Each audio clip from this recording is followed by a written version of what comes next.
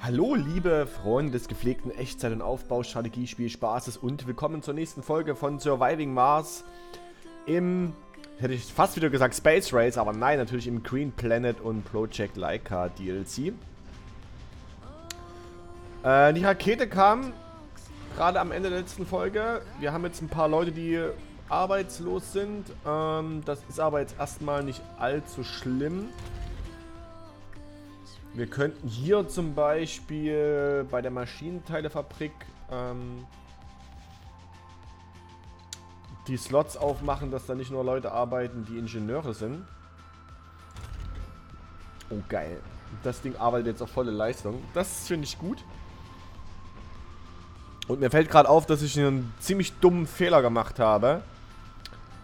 Denn ich hätte das Gebäude natürlich so bauen können, dass es beide Ressourcen abbauen kann. So bin ich halt jetzt gezwungen, dann äh, nochmal eins zu bauen. Also nochmal mit Edelmetallextraktor, weil die Ressource ja nicht abgedeckt wird. Das ist ärgerlich. Aber damit müssen wir jetzt leben. So, ansonsten Strom minus 41 ist natürlich nicht so geil. Ja, und das ist tatsächlich auch knapp. Aber ich glaube, wir kommen so halbwegs über die Nacht. Bis dann wieder ähm, die Solarpanels angehen. Ja, ja, ja. Aber cool ist das immer noch nicht. Also... Oh, die Rakete ist schon voll. Die kann schon weg. Äh, die Frage ist aber, ob wir nicht jetzt irgendwie noch was machen hier. Ähm... Hier, sechs Ingenieure, Durchbruch. Scheiße, jetzt müssen wir die wieder entladen. Ach, komm her.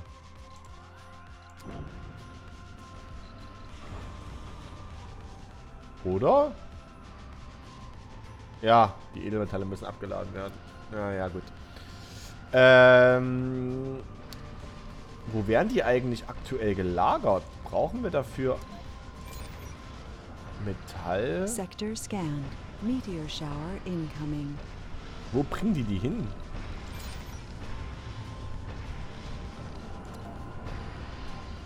Äh, okay. Ein Mete Meteoritenschauer. Das ist grundsätzlich nicht so schlimm.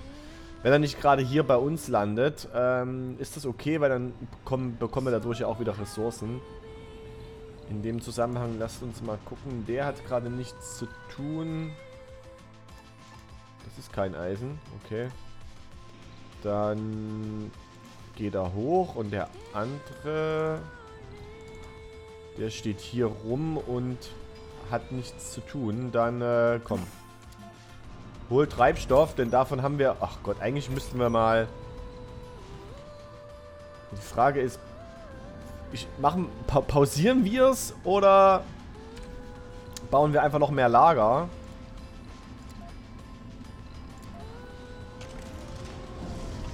Rakete fliegt zur Aufgabe. Damit sind jetzt nicht mehr so viele Ingenieure da, aber das verkraften wir. Das verkraften wir. 95 Strom. Okay. Also ich glaube... Wir gucken mal auf die Forschung. Ah, die Forschung ist natürlich gerade... Wir, wir forschen gerade den Feuchtigkeitsvaporator. Danach die tiefe Extraktion. Und hier kommt erst der Stirling-Generator. Haben wir denn eigentlich mittlerweile die Forschung, womit wir die Gebäude abreißen können? Ist die bei Ingenieurswesen? Warum... Nee, aber warum steht hier 23%? Das forschen wir gerade nicht. Sag jetzt etwa nicht, der speichert mittlerweile den Forschungsfortschritt. Das wäre ja geil. Weil was anderes kann diese 23er hier eigentlich nicht bedeuten, oder? Wir müssen mal abwarten, wenn die hier durch ist, wenn wir die hinten dran setzen, ob dann hier schon ein Fortschritt zu sehen ist. Das wäre mega cool. Das ist ja das, was ich die bei den Let's Plays vorher mal gesagt habe, dass das nervig ist, wenn man abbricht, dass der den, dass die Forschungslämmchen quasi weg sind, die da schon investiert worden sind. Das wäre jetzt echt cool, wenn man mittlerweile ähm, Research complete. Wenn da mittlerweile, wie gesagt, dieser Forschungsfortschritt gespeichert werden würde. So, ähm, er ist hier voll mit Treibstoff. Lade ihn aus. So, jetzt ist die Forschung gerade durch. Das, sind 1000.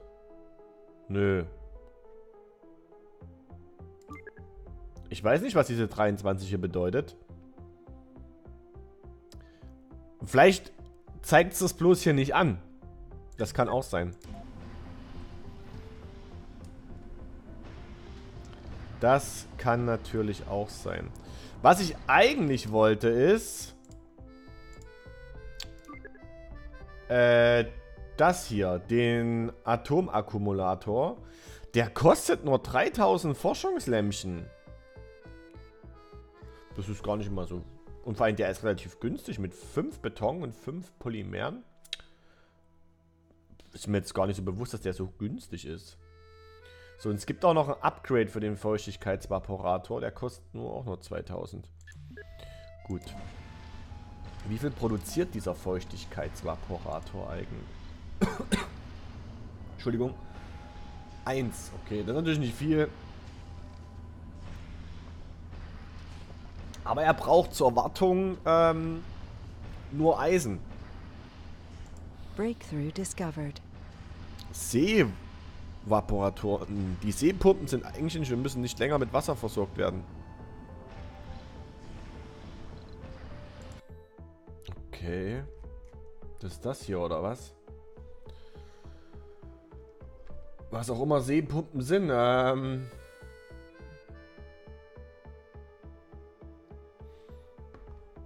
Das, ach, das sind dann die hier, oder was? Ne, das sind die Rohre. Die sind auch geil. Es gibt so viel coole Forschung, die ich gerne hätte. So, es gibt weitere Planetenanomalien. Äh, das lohnt sich ja dann sogar. Was haben wir denn hier? Forschungsfortschritt. Ne, nice. Können wir eigentlich gleich angehen. Neue Technologien. Neue Technologien. Durchbruch. Ressourcen. Ja. Also, ich glaube, wir haben ähm, genug zu tun. Sector scanned. Anomaly found. Oh, sehr gut. Eine... Huch, da wollte ich gar nicht hin. Ich wollte eigentlich einfach das Menü hier ausmachen. So, wo ist die Anomalie? Hey. Eine weitere Anomalie gefunden. Das ist sehr gut. Äh, wo ist denn Sektor 9? Ach, da ist Sektor 9. Okay. Ja, im Grunde, das habe ich ja beim letzten Mal, glaube ich, schon gesagt. Wir haben so eine Überbrückungsphase. Eigentlich läuft gerade alles relativ gediegen.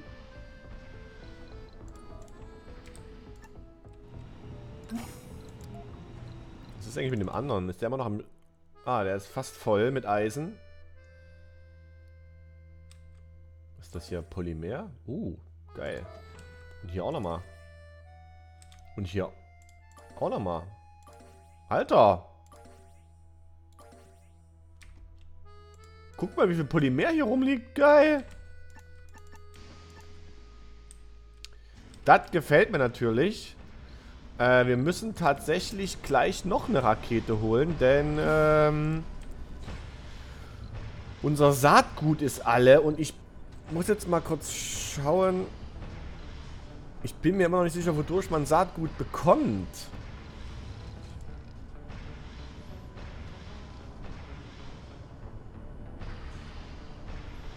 Aufforstungsfabrik verbraucht Saatgut, um wilde Vegetation zu pflanzen und so die Bodenqualität zu verbessern. Die Pflanzen gedeihen oder sterben abhängig von der Bodenqualität, der globalen Temperatur und dem vorhandenen Wasser. Arbeitet nicht während der Staubstürme und giftigen Regen.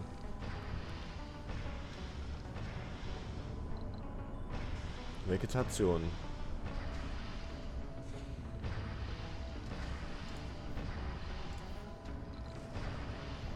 Gras verbessert die Bodenqualität. Benötigtes Saatgut 0,1. Mindeste, mindestens Bodenqualität 10%. Ähm, benötigte Terraforming-Fortschritt 10% Wasser und 20%. Wir holen uns erstmal die Rakete hier. Wie komme ich denn, wo sehe ich denn die Bodenqualität? Das ist Temperatur.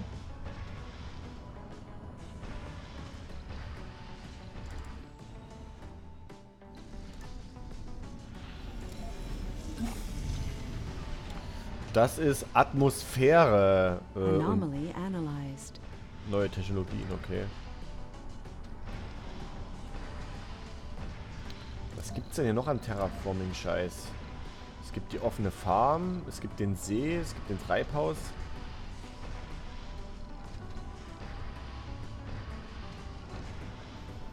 Sector scanned. Hm. Ist noch nicht so ganz klar. Tatsache ist, wir brauchen Rakete, Polymer. Oh, und vor allen Dingen hier elektronische Geräte. Also, Polymer brauchen wir nicht allzu viel. Produzieren wir selber schon. Und vor allen Dingen, da oben sind ja einiges an Polymervorräten gewesen. Das hier ist tatsächlich viel wichtiger. Aber das Zeug kostet eine Menge Geld, wie ich gerade sehe. Äh, die Frage ist, was wir... Achso, Saatgut brauchten wir eigentlich. Das war eigentlich der Hauptgrund, warum ich hier ähm, losgeflogen bin. Ähm, ja, lass uns das mal so machen. Auch wenn das teuer ist, die ele elektronischen Geräte. Aber... So, hier. Wir brauchen sie ja. Was haben wir hier? Forschungsfortschritt. Schicken wir gleich die Rakete hin. Er kann eigentlich nochmal Treibstoff holen. Und der andere ist jetzt wieder leer und kann sich hier oben mal an dem Polymer vertun. Damit wir dahingehend ein bisschen... Hier kommen... Tipps, was steht denn da? Willkommen auf dem Mars. Achso. Steinzerfälle, Kältewelle, Priorität. Achso. Hm. Es ist noch zu früh für eine Kuppel. Ja, ja, okay. Naja, das... Puh. Ja, also wir müssen jetzt so ein bisschen warten. Wir, wir machen minus 3 Wasser. Wieso das denn? Oh. Oh. Scheiße. Weil wir keine Maschinenteile hier haben. Okay, Kollege, du musst ganz schnell zurück. Auch wenn du noch nicht mit voll bist mit mit äh, Treibstoff. Das ist wurscht. Wir brauchen da oben Maschinenteile und das zwar und das schleunigst. Denn wenn die Wasserproduktion nicht läuft, dann haben wir tatsächlich ein Problem.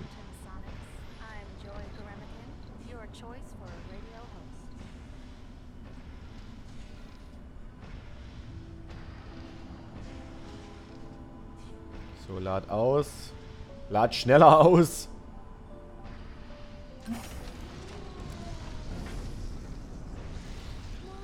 Brasilien scannt eine Planetenanomalie in drei Tagen. Pff, mir egal. Bis dahin haben wir alle Planetenanomalien nicht abge abgefarmt.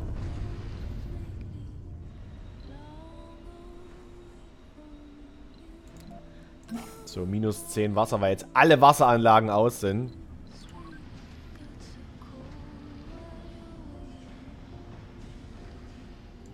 Wie viel Wasser haben wir denn noch?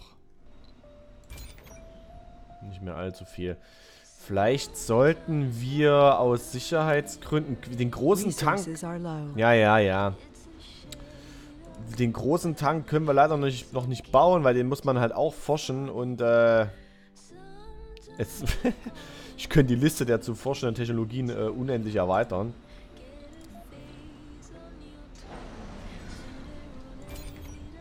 Ist ja alles gerade im Ausfall. Na ne? gut, dass wir hier eine ordentliche Ladung an Maschinenteile hochgebracht haben.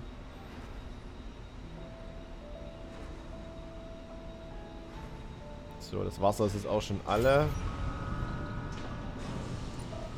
So, ja, ja, ja. Gut, dann Treibstoff. Anomaly analyzed. Uh, das hat sich gelohnt. 2000 Forschungslämpchen ist natürlich nice. Denn das bringt uns hier, der ist halt relativ teuer, ne? Die Wasserextraktion aus der Tiefe. So, der ist voll mit Treibstoff.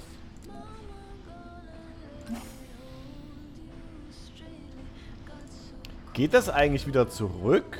Wenn man jetzt hier die... die wir sind bei 5,13. From Kernwärme vom Treibhaus. Okay.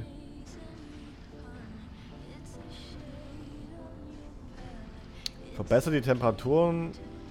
Verbesserte Temperaturen verringern den Einfluss von Kältewellen und schaffen die ökologische Voraussetzung für Giftigung und reinen Regen. Ja, es kann kein flüssiges Wasser geben. Also 5,19. Ich schalte die Dinger jetzt mal aus. Ich will einfach wieder wissen, ob dann die Temperatur wieder runtergeht. Also ob man den Fortschritt wieder verliert.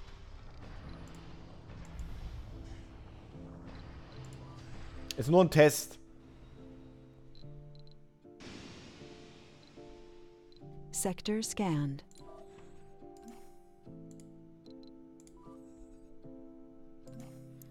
Sektor gescannt, nichts gefunden. So. Und dann kommt die hier gleich zur nächsten. Wir hatten ja nochmal Forschungsfortschritt, ne? Durchbruch. Wir nicht zweimal neue Technologien? Neue Technologien? Durchbruch. Pff. Oh, acht Drohnen.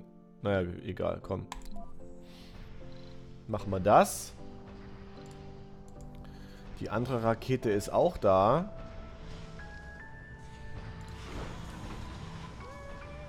So, die wird beladen. Ist immer noch 5,19, ne? Passiert erstmal nichts.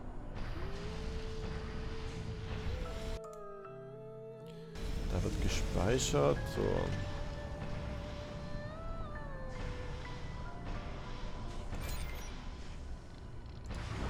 Resources are low. Was? Schon wieder? Wieso das denn?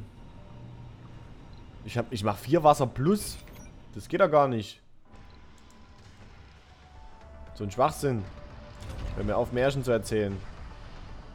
Und mach mich vor allem nicht nervös. Drohnen sind überlastet. Ja, da war jetzt auch gerade... Die müssen die Hütte hier, die Hütte hier ausladen.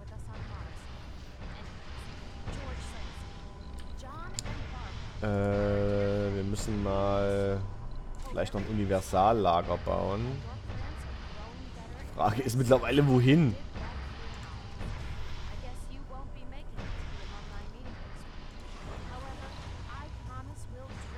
Könnt ihr hier mal die Rakete auf Prio legen und die vielleicht nicht unbedingt auf Prio? Dass ihr vielleicht hier erstmal einladet. Das würde ich sehr begrüßen. Sector scanned. Nichts gefunden. Schade eigentlich. Aber gut.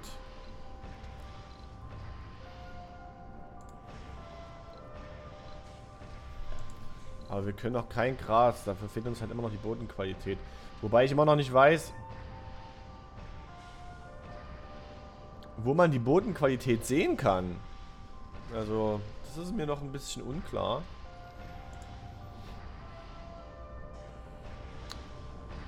Das verstehe ich nicht so richtig, aber ich meine, ich sehe die Bodenqualität nur in den Farmen. Hier 80%.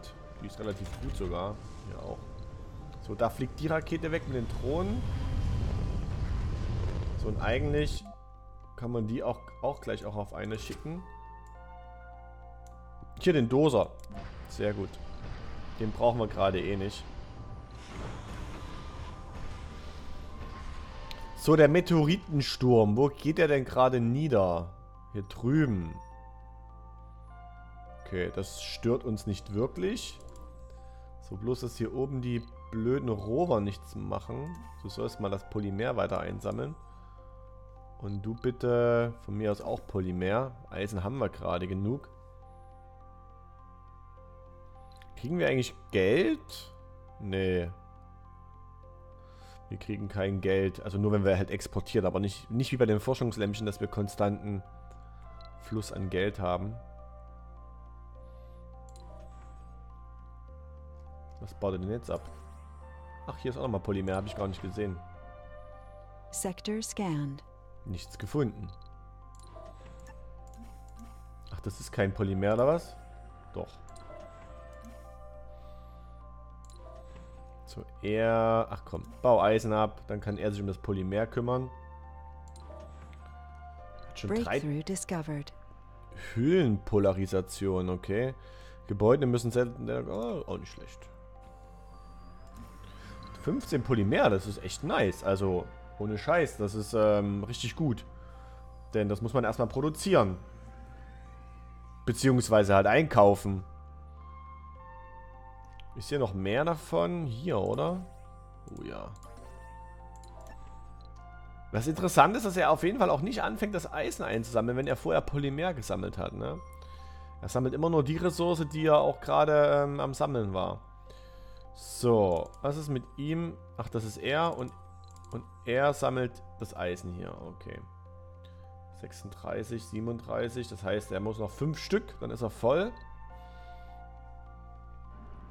Und es geht übrigens nicht runter hier. Seht ihr das? Die Temperaturen gehen nicht wieder runter. Oder es dauert sehr, sehr lange. Die Frage ist halt, wenn man hier 100% erreicht, ob das jetzt ein guter Wert ist. Ich habe keine Ahnung. Ach hier, die, Ra die, Rakete ist immer noch nicht da. Äh, also immer noch nicht fertig. Der andere, der macht schon wieder nichts mehr. Äh, aber ich glaube auch, dass mittlerweile hier... Sehe ich da ist noch ein Polymer. Das ist dann aber auch, glaube ich, alles. So, eine Rakete ist wieder da. Das ist die mit den Drohnen. Das ist schon mal gut. Die hier wird immer noch entladen. Da können wir jetzt mal eine Prio drauf geben. Werden wir mal gucken, wo wir die jetzt hinschicken. Okay, da haben wir den Doser. Geologen. Botaniker. Ja, dann mach erstmal die.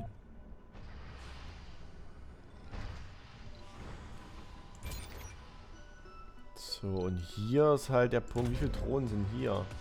Jetzt gar keine? Sector scanned. Hä? Das ist jetzt sehr verwunderlich. Wie viele Drohnen sind das denn hier? Äh, drei. Und die sind auch noch ausgelastet? Okay.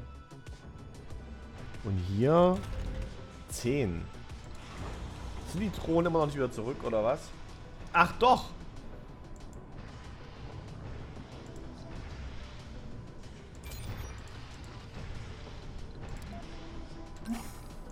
So, jetzt sind sie weg. Genau. Jetzt wird hier wieder hoch. Lol. Ja, die entladen immer noch den... Die Rakete hier. dauert irgendwie noch ein bisschen. In der Zwischenzeit hat der wieder Langeweile. Ja, dann mach hier weiter beim Eisen. Gut, wir haben jetzt ein bisschen Treibstoff natürlich investiert. Klar. Wir können die erstmal wieder anwerfen. Also scheinbar geht die Temperatur nicht wieder runter. Zumindest nicht so schnell. Vielleicht ist das ein langfristiger Prozess.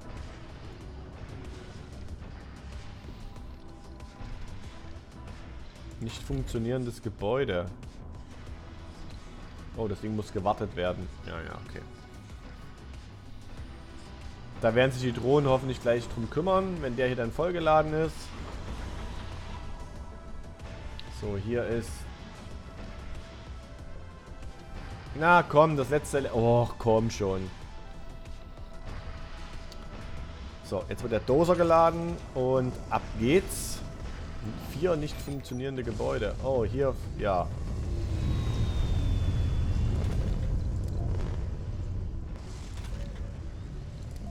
Der hat die ganzen Drohnen von hier drüben abgezogen, glaube ich. Deswegen, ähm... Und wir müssen vor allen Dingen mal so erst voll...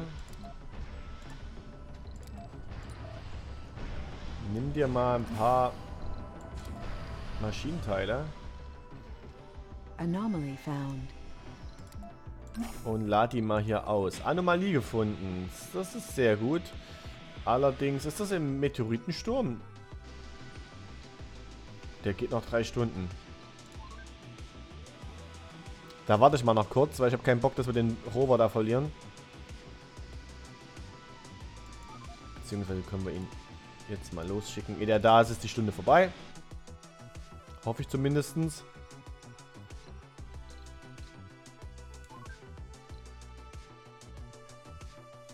Ja. Sehr gut. Anomaly analyzed. Oh, 29 Geld ist natürlich auch nicht schlecht. Gut investiert. Neue Technologien, ja. There's more to the barren environs of the Red Planet than meets the Oh eye. geil, wir können jetzt schon das Mohole-Projekt machen. Wie krass ist das denn bitte? Also jetzt mal ernsthaft. Wir können jetzt schon die Mohole-Mine forschen, wenn wir das wollten. Und vor allen Dingen, äh Ach, krass. Was ist das denn hier? Megasatelliten. Schaltet folgende Spezialprojekte frei. Weltraumspiegel starten. Verbesserte Temperatur und Magnetschild starten. Verringert die Verluste von Atmosphäre. Ach, die Atmosphäre verliert man also wieder, okay. Krass. Ach, guck mal hier. Kostenverringerung. Schaltet Pflanzen von Büschen und Bäumen in Aufforstungsfabriken frei. Das, die Samen von ausgewachsenen Büschen. Da kriegt man die Samen wieder her. Okay, okay, okay. Eieiei, ich habe ein bisschen Schiss vor der Story, die da noch kommt, wenn wir hier im Prinzip uns gerade voll in die Forschung stürzen. So, minus 56 Strom. Reicht das über Nacht? Naja. Das wird knappe. Ich glaube, ich baue mal noch eine weitere Batterie. Alles für die Liebe. Deine Aufmerksamkeit wird verlangt. Alles für die Liebe. Ein traurig aussehender Kolonist kommt auf dich zu und teilt dir etwas Persönliches mit. Tara Warma ist schwer in einen Kolonisten verliebt, der außer Reichweite scheint und plant einen romantischen Heiratsantrag, der von einem schönen Feuerwerk untermalt werden soll. Kosten 10 Millionen. Ich kann zu einem hoffnungslosen Romantiker nicht Nein sagen. Zünden wir ein Feuerwerk. Ich würde alles für die Liebe tun, außer das. Ach komm, ich bin da kein Arsch. Ich finde es nur krass, dass ein Feuerwerk 10 Millionen kostet. Ich glaube, in Wirklichkeit wäre das überhaupt nicht vertretbar, für so einen Scheiß 10 Millionen auszugeben. Vielleicht erhöht es ja die Geburtenrate. Ich weiß es nicht. So, eine Rakete ist wieder da. In der Zwischenzeit schicken wir ihn wieder zum Sammeln hier hoch. Die nächste Rakete ist wieder da. Huch. Die Frage ist, gibt es jetzt noch eine Anomalie? Ja, hier, neue Technologien. Ja, die machen wir auch noch. Wir sind ja nicht so. Der kann von hier oben Treibstoff holen. Und ich glaube, dann können wir mal wieder anfangen, ähm, Zeug zu exportieren. Denn wir brauchen ein bisschen Geld, damit wir vor allen Dingen auch wieder die Forschung ein bisschen anheizen können. Denn im Moment machen wir nur 1000 Forschungslämpchen. Und damit bin ich nicht so ganz zufrieden, muss ich zugeben. So, hier. Die könnt ihr... Ach, Leute, die könnt ihr eigentlich gleich drinne... Ach nee, Quatsch, das ist... Ach, shit. Ja, gut, das ist die Rakete, die wir jetzt auf Expedition schicken. Naja, okay. Nicht so optimal, aber, ähm... Ist halt so.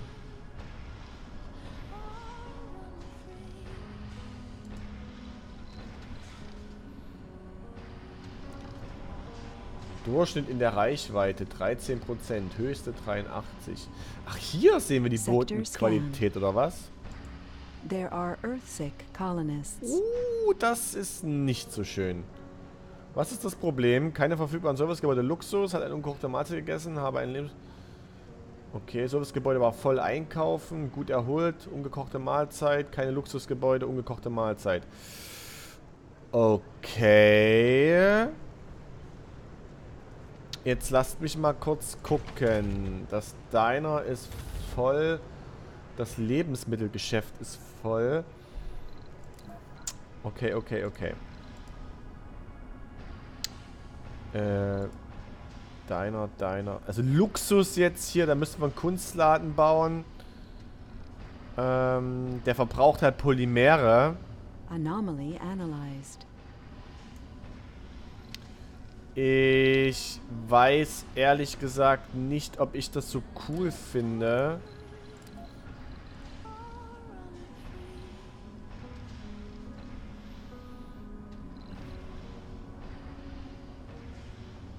Also nur wegen dem einen Kolonisten, äh, ganz ehrlich, da baue ich lieber noch ein Diner hier hin. Interessanterweise ach so, wir könnten mal die Schicht hier noch eröffnen. Weil ich wollte gerade sagen, hier ist ja überhaupt niemand drin, aber ja, in der Nachtschicht ist halt niemand. So, die Rakete hier, die können wir zur Erde zurückschaffen mit Geld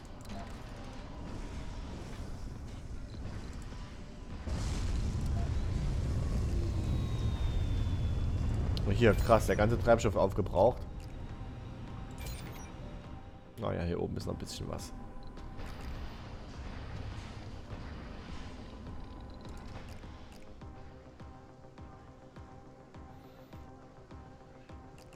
Einkaufen war voll gut erholt. Hat die Weltraumbar besucht. Oh, die hat 30 Punkte gegeben. Das ist natürlich nice. Ähm, ist der jetzt immer noch? Ja, Geringer Komfort. Naja, aber wenn jetzt auch nachts welche in die Bar gehen können, hilft das vielleicht auch schon.